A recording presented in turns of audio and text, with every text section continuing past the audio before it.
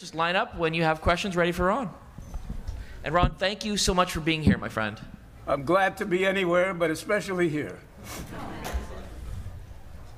Oh, don't be shy. Don't be shy? Yes, I'll ask you questions.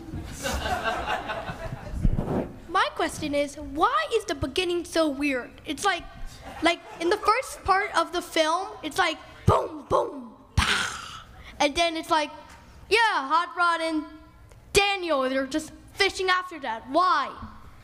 Why did you change the tone of the opening, like a bunch of these famous characters dying, but then you just cut it to like Hot Rod and Daniel like fishing? That is a hell of a question.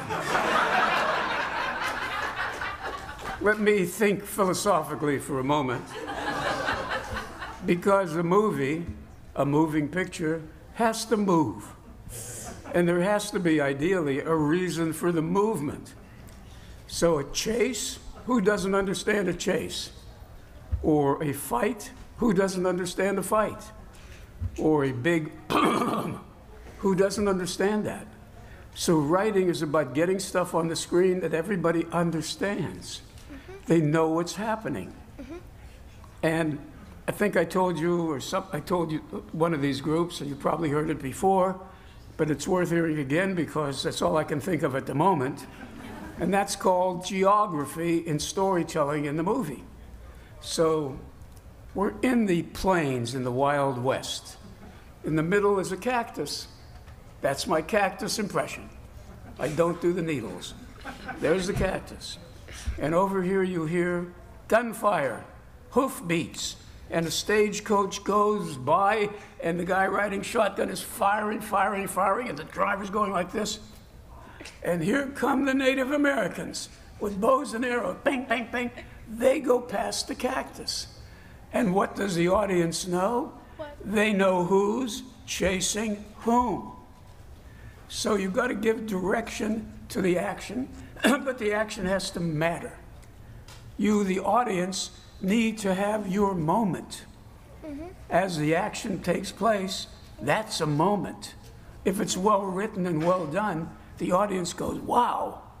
If it's not, they go, mm-hmm. who wrote this crap? so that's why what happened, I made to happen, to put the moments and the action on the screen that everyone could understand. A lot of contemporary movies don't bother with that. Time is elastic, so they'll start 10 years ago. And then suddenly this comes up. Present day.